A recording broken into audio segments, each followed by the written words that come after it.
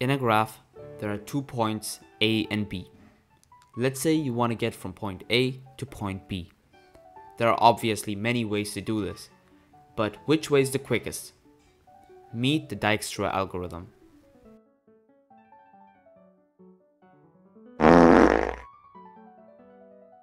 In this video, we're not only going to be talking about the Dijkstra algorithm, but also about Euler tours.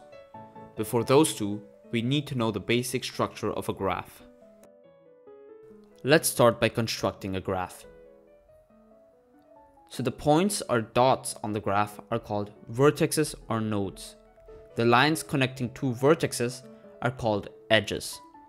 The oval you're seeing here is basically an edge, but instead of connecting two vertices, it connects one vertex and goes back to itself. These are called loops. It's like a circle round back to the same point. Another thing that's important is the degree of a vertex, which is the number of edges connected to it. In this example here, the vertex on the left has a degree of 3, because 3 edges are connected to it, and the other vertexes have a degree of 1. Euler tour, what is it? It's a trail around the graph in which you end back at the start position after going through every edge. But you're not allowed to go through the same edge twice. Let's take this square as an example here. The Euler tour of this square looks like this. As you can see, we're back at the start. We went through every edge without repeating an edge two times. Let's try adding a line through the middle like this. Now you try to find the Euler tour. Now, I don't know about you guys, but I just can't seem to find the Euler tour here. But don't worry, because in some figures, it is actually not possible. And that is because of one simple reason. Let's say that this is a part of a graph.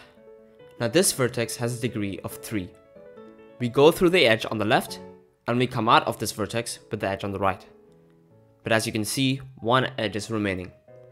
Since we have to go through every edge in an Euler tour, we go through the one in the middle. But we also have to end off on our start point. But the problem is, to go from this vertex to the start point, we have to use one of these edges, which we've already gone through. In an Euler graph, we can't go through the same edge twice. It's not possible to have an Euler tour in a graph where the degree of any vertex is an odd number. If it were an even number, we could have gone back using the remaining edge. Now that we know when an Euler tour is possible, how do we find them? Let's take a look at this graph. First, make sure the degrees of all the vertices are even numbers. Step 2 is to divide the graph into smaller graphs. In this example, I'm choosing to divide it in this red graph and that green graph. Now that we have divided the big graph into two smaller graphs, our primary goal should be to go through these two graphs separately with one rule. Let me explain this rule in practice. We start at the start vertex, that's usually given. Let's just say that it's this vertex up there. Since we are on the red graph, we go through every edge on this red graph until we meet a point which is connected to another graph. If we haven't been on the other graph, which is the green graph in this case, we switch over to the green graph and continue on the green graph and go through every edge there. Okay, here, for example, let's go through like this. Okay, we're on this point now, and this point is connected to the green graph, so we switch over. We go through every edge possible. Okay, now we're back at a point which touches the red graph. Should I switch over? No, because we've already been on that graph before. Only switch over if you haven't been on that graph. So continue through the last edge. Now we're done with the green graph. Let's just finish up the red graph. And we're done. That's the Euler tour. Let's do one more example. As you can see, I've already split this graph into three smaller ones. You can split the graph into as many smaller graphs as you want. It's important to split it in a way such that the process is as easy as possible. So the degree of all the vertices here are even. So let's start up here. And let's go down like this. Now we're touching the green graph. So we switch over to the green graph. go like this, like this. Okay, now we're on the yellow graph. So since we haven't been on the yellow graph before too, we switch on the yellow graph. Okay, now at this point, we're touching the red graph. But we've, we have already been on the red graph, so we don't have to switch over. Now let's come back on the green graph.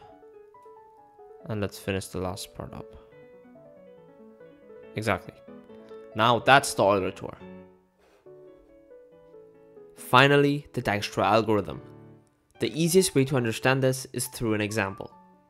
We need a graph and let's name every vertex. Here, every edge has a value too. This value most likely represents the time it takes to go from one point to the other. For example here, going from point A to point B takes 12 minutes or maybe 12 seconds. We want to get from point A to point G. Which path takes the least amount of time? Firstly, the start point always has a value of 0. From here, we have to see all the possible paths we can take to the next point. We can go from A to B or from A to D. The value of the line AB is 12 and the value of the line AD is 4. So let's do the following calculation. We add the value of the lines we are going on to the value of the point we are on. Since the point we are on has the value of 0, this is the result. 0 plus 12 equals to 12 and 0 plus 4 equals to 4. But now, we only have to take the smallest result, which is 4. And that means the value of d is 4. Let's do the same process again, but from point D and from point A. So we can either go from point A to B, from point D to B, from point D to F, or from point D to E. What's important here is to not forget the point A to B because we have to pretend we are on point D and on point A. The goal is to give a value to every vertex like this. Since the value of the point D is 4, these are the respective calculations. 12 because of the line A to B. Everywhere it says 4 plus is from point D, since the value of D is 4. And the smallest value that comes out of all of these is when we go from point D to point B which is 4 plus 5 equals to 9. Now b gets the value 9 since we ended off there. We have to keep repeating this until we get to point G, our destination. Now let's talk about what this value of this vertex even is. This value is the value of the shortest path from A to this point. There are obviously many lines we can take to get from A to G, but this value 26 is the addition of the lines in the shortest path. Once you have the value of the shortest path, it is much easier to find this way. You can work your way backwards from G with the values until you reach A. And it turns out, here, this is how the path looks like. And thank you very much for watching this video. This is where I'd like to end off. If you have any more questions, don't hesitate to write them down in the comments. See you in the next video.